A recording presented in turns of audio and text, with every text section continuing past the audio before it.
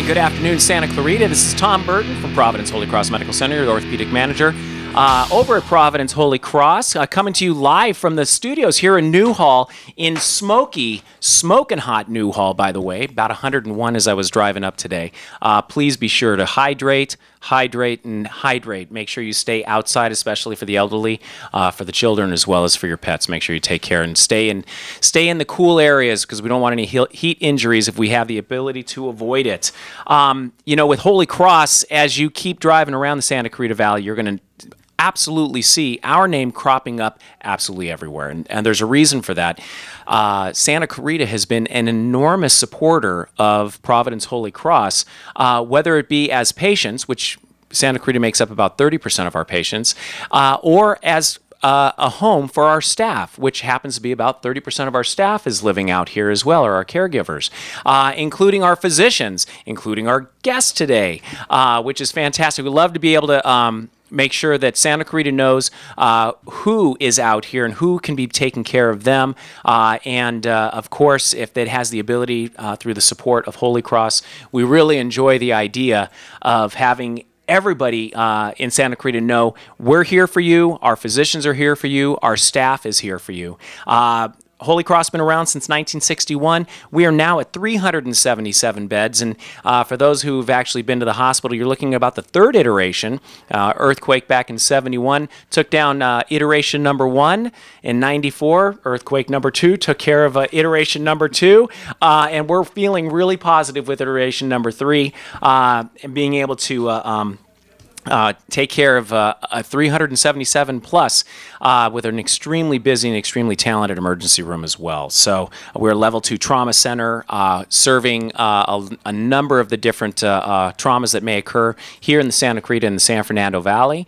And just glad to be able to be a part of everybody's care. Uh, top 5% nationally for quality, which uh, uh, we really respect that. And uh, we just found out also we're in the top 150 places to work in healthcare nationwide. So, Holy Cross, uh, very pleased uh, to be able to be a part of everyone's life, whether it be through employment or also through care, and being able to take a very patient centric approach. And we're really lucky because um, our guest today now is North, Northern California uh, trained. Um, you know, I did see Cal Berkeley in there, uh, which is great because I'm a, I'm a Pac-12 kind of guy. And uh, uh but Dr. Dr. Chen, uh, please tell us uh, what. well, welcome first, but well, what brings you to Santa Clarita? Well, great to be here, Tom. Um, thanks for having me. Um, yeah, I was uh, um, Northern California trained at uh, UCSF East Bay program out in Oakland, and um, I grew up in Southern California. Love it. And uh, my family is still down here in Southern California. I spent uh, five years up in Northern California practicing general surgery, and uh, I have three little kids, and um, uh, my parents are down here, my sister and her family's down here. So uh, I wanted to bring everyone closer together. I was kind of tired of that six hour drive on holidays. So now I can, you know, uh, on uh, any given when, uh, week- weekend, just head on over and have uh, lunch uh, with the parents and the family, the rest of the family. So really, family brought me down uh, back down to Southern California. It makes it so much easier when everyone's in the same. My my my dad still lives in Granada Hills. Uh, I was born at Holy Cross, shockingly enough, and uh, um, the uh, my brother's in Porter Ranch, and so it's it's great to know that we have that you really only have to hop into a car for a very short period of drive. And that's if you right. can get up to Northern California in six hours in the Grapevine, that's pretty impressive. unless you're doing it at midnight yeah, or something like that. That's exactly what we were doing. So oh. this is much much better. well, very good. And and now um, your new your practice is new now to Santa Clarita. When that's right. Uh, are now is the office open? The office is open. Uh, it's close to the um, Valencia Mall. It's on Valencia Boulevard, 23823 Valencia Boulevard. Um, and uh, uh, it's open uh, half day on Mondays. Perfect. Um, right now. All right, we, we will absolutely get your uh, uh, contact phone numbers and everything at towards the end of the show. Um, but uh, uh, and uh, uh, emails and, and and I know that you'd mentioned that you have a uh, your office has a Facebook page. That's Uh, right. we'd love to have that as well. Anything that we can do uh, to make sure that everyone knows how to find you, um, because uh, for those of you who now I did not know Dr. Chen, uh, uh, our business development uh, uh, director. Doug Ziegler uh, introduced uh, Dr. Chen and I, and uh, you know, Dr. Chen is bringing, as everyone will be uh, very jazzed to hear this, is bringing technology in to surgery. But uh, you mentioned something. You, you for your first five years, you practiced the uh, um, the standard laparoscopic approaches and open approaches. right, yeah. You know, kind of Norm Abrams. You know, you kind of learn how to use it with the hand tools first before you start moving on to the power equipment. But uh, uh, you've enjoyed getting into the power equipment and been doing robotics for how long now? Oh yeah, uh, the robotics I've been doing for about three years, a little over three years now, uh, since moving down here. And like I said um, earlier, um, I was up in Northern California doing bread and butter general surgery um, in a small town outside of uh, Davis, and uh, um, laparoscopic surgery is uh, um, pre- predominant and the gold standard in general surgery. And it wasn't until I came uh, down to um, Southern California that um, I became was introduced to robotic uh, general surgery, and uh, really took off about three years ago. And um, I did my training with the um, uh, Intuitive Surgical that makes the Da Vinci system, and uh, um, I'm now a proctor for Da Vinci, uh, meaning I train other uh, general surgeons in its use and application. Um, and uh, um, now the um, highest volume general surgeon using Da Vinci between Bakersfield and LA. That's um, in huge. the- yeah, in the last three years. That is fantastic, and and the uh, uh, and we'll we're going to have to get into exactly the different uh, uh, uh, procedures that that utilizing the robotics using the Da Vinci system uh, will best support. Um, but your introduction into just general surgery itself. What made you? Because I know we have a tremendous number of extremely smart, talented students going off to college, coming back from college now that we're in spring, uh, summer break. Um, what made you decide one to go into medicine, but what also made you decide to go into surgery? Well, I suspect that um, my reason for going into medicine is similar to 99% of other uh, all the other doctors, which is to help people Right. and to help people get better. Um, in med school, you know, um, every medical student goes through the process of deciding what uh, specialty that they want to go into. First, the broad specialties of of internal medicine versus a, a surgical specialty, and um, after um, my rotations, um, I came to the um, decision that I wanted to help people get better fastest, and that the, the way to do that is through surgery, and um, uh, the, there's no faster way to cure somebody than than to operate. Right, right, right, right. And Yeah. and and and then that, of course, drove your education, drove your directions for your residencies and your fellowships and such. correct, and yeah. we'll get into uh, one of the specialties. Uh, because you were, we were talking uh, that you have a very strong interest uh, in your specialty with endocrine, Yeah. uh, and we'll we'll actually talk about that uh, probably at the at after the break. Um, but uh, so now, as coming in with robotics, tell us a little what is why robotic versus standard laparoscopic approach? What how are the benefits? Sure. Um, in the beginning, um, you may hear from other um, surgeons, and I was one of those surgeons um, that kind of questioned the uh, need for robotic um, surgery um, applied to general surgery. And if you don't know already, general surgery, um, what we do, uh, the the highest volume surgeries that we do is removing the gallbladder. Yes. And millions of people have their gallbladders out. It's a very safe operation. Um, the standard way to do it is for the last two decades has been laparoscopic removal of the gallbladder.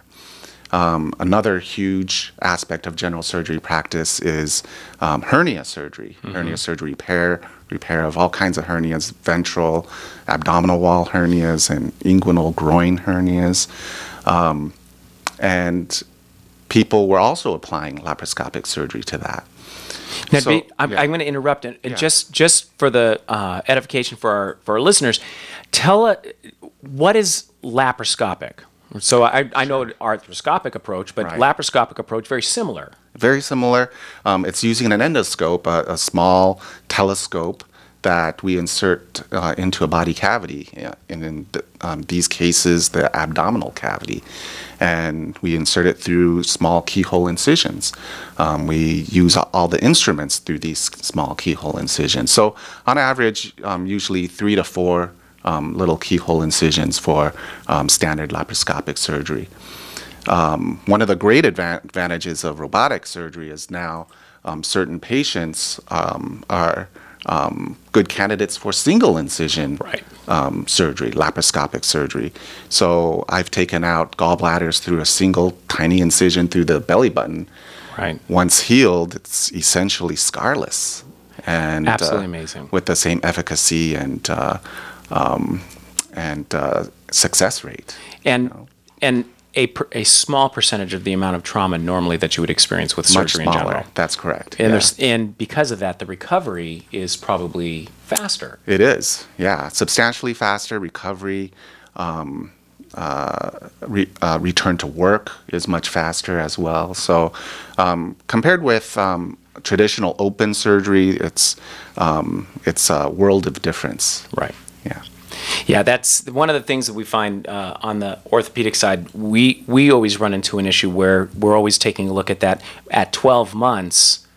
This is where our patients are at, and uh, the hard part of that is is that if we actually have the ability to to get a person back to a quality of life sooner, then that that's so much more beneficial. Even though at 12 months everyone will be at the same spot, we'll be able to get people back to work, back to a quality of life, back to their families, back to their activities, uh, and uh, and it sounds like robotics is going to offer that ability.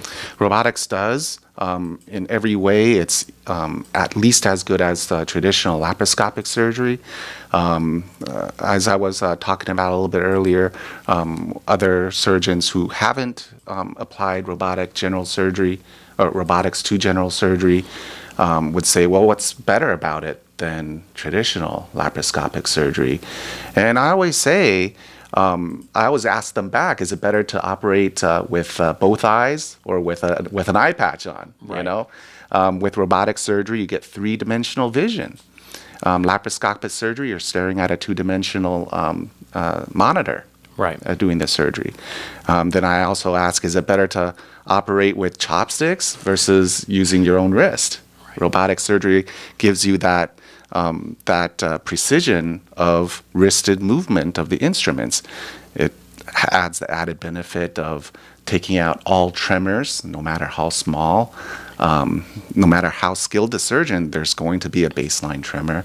And that is one of the benefits too, is that Um, yeah. the, the robot itself will dampen um, accessory movement, right? So that That's you correct. Can, so in essence, you're going to actually decrease any just standard uh, accessory movement that could, I guess, could be part of a general laparoscopic procedure. Right. That could be something that could be irritating. Right. Okay. Can be irritating. The person holding the camera could be shaking um, in uh, uh, standard uh, laparoscopic surgery. But with robotics, um, the surgeon at his console controls the vision, controls all movements of every instrument um, that's uh, in the patient's uh, abdominal cavity. And I, and I guess just because I've, I've actually had this question come to me before, Mm-hmm. the robot's not the one doing the surgery. That's right. Yeah, that, it can't be stressed enough. Um, we have uh, full control of the robot.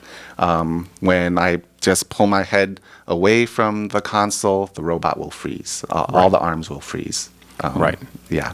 And then uh, now, th- in standard laparoscopic approach, a lot oftentimes you have to uh, ed, uh, introduce air into the abdominal cavity. Is it the same with the robotic? Yes, As it well. is. Yeah, you introduce CO2 gas, uh, which will be absorbed by the body rapidly uh, after surgery. Right. Um, and uh, and uh, um, exhaled through your breath. Right. Right. That was one of the standard things that we always had. On, if they like you sitting up. But a lot of times, shoulder pain is not an uncommon thing. That's so right, yeah. that uh, uh, and and it's nice to be able to know if that's going to be the case, and if someone does ask, then it's you know forewarned is forearmed. Hey, Mm-hmm. listen, you know it's not an uncommon thing. You might have some shoulder discomfort afterwards because gas rises. So That's right. Okay, and uh, um, and so you're having the opportunity now. I know a lot of your practice originally uh, in Southern California was up in the Antelope Valley. Mm-hmm. Uh, don't, not sure why I turned into another syllable there, but now um, coming into Santa Clarita. Uh, now we, as you're getting introduced to the physicians, uh, you know that's that's a whole different process. It's like starting a new practice. Yeah, absolutely. Uh, getting out and meeting and greeting, and uh, uh, getting to know the different personalities and what their needs are going to be. What have you found so far? Well, uh, I found that uh, patients um, want to stay close to home. Right. You know, and um, so that's uh, one of the reasons why um, I uh, opened up the um, uh, Valen- the Valencia office uh, right away. Um, uh, as I go around the Holy Cross area, um, all of the primary care physicians, by the way, are fantastic, super friendly, and very welcoming, and uh, totally knowledgeable. And uh, when I go and visit them, uh, one of the first things they tell me is, um, you know, my patient wants to stay in the area. So um, uh, my effort now is to really try and open up a satellite office um, around uh, Holy Cross itself, uh, in the Mission Hills area, perhaps, or uh, Panorama City area. Right, right, right. No, it's it is true, and and it um you know to kind of go off on a on a, uh completely unattached tangent, uh, that was one of the reasons why City of Hope came uh, to Santa Clarita, uh, and with their association with Holy Cross and with Tarzana, was to to bring Duarte here.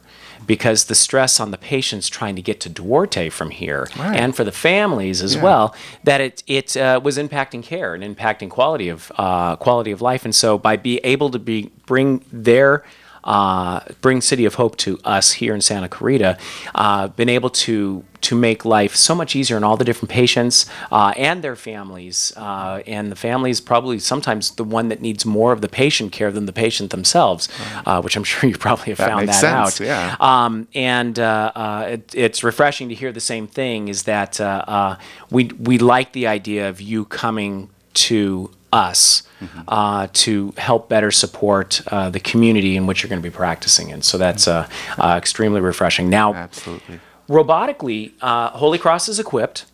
Okay, and you've Mm-hmm. Right. and and the units that you've normally been working with. That's right. Perfect, perfect, perfect. Oh yeah, And- there's um, there's the um, SI um, unit, which is um, the one that most um, hospitals and operating rooms have. But um, my understanding is that, um, speaking with the CEO at Holy Cross, that they are seriously considering uh, getting the XI, if not already having made that decision, which is the newest cutting edge. Uh, right, kind of a robot. Cadillac, if you will. The Cadillac, exactly. That's- that's And- great. And I've had an opportunity to use that um, robot before elsewhere, and uh, um, and it is amazing. Yeah, it is That- amazing. And I know that somewhere down the line too, we uh, there was discussions uh, and talking with some of our neurosurgeons uh, who who mentioned you you know Dr. Avila, Yes, who's been on with us, Dr. That's Nangiana. Is I believe uh, we're looking at an O arm. Uh, to be able to use as well uh, for the mapping aspect of it, because I know that they're starting to do more robotically as well. Yeah. uh, and that is going to be the trend, isn't it? Oh, I mean, absolutely. yeah, I, I don't think it's going there. There's no going back. Right. And uh, it's definitely not a fad um, that uh, some people might say it is, but it, it definitely isn't. And uh, um, uh, this is the future. It is. Now, one of the other questions that someone will say, will ask me too, is is that so you guys are doing things robotically. Um, so does that mean the physician's good at Xbox? You know, I think that there's a correlation. I don't think it's causal, but Of course, um, of but course. yeah, everyone brings that up. You know, you must have grown up playing video games, which I did. But it's honest. Well, it's so funny. We got the spiral CT. I remember this years ago, back in the early 2000s, when Holy Cross got the spiral CT, and and one of the things the radiologist was talking about, he said, you know, we can actually t- we can actually follow the air passages, uh, and theoretically speaking, if we as we can zoom through the air passage on the spiral CT through the 3D aspect of it, that in theory, if there's tumors in that area, that we could actually maybe take a look at using a, a laser knife and we can actually utilize that. And then that just brought on the, brought to my attention was that as as I grew up, my my parents could not use video games, and so my concern then sat that okay, we're going to need some really smart twelve year olds to be able to operate those machineries to be able to do all of these procedures that we're talking about. Um, well, hey, you guys are with us here with the Providence Holy Cross Health Hour. Uh, uh, so glad to have Dr. Chen here on on the air with us for the next uh, oh probably the next thirty minutes or so. We'll go ahead and we just kind of talked about the idea of robotics, and we're going to come back to talking about endocrine, uh, and then uh, uh, see see where direction takes us. So. Uh, Stay tuned. You're with KHTS uh, Radio, uh, your hometown station, and we will see you soon.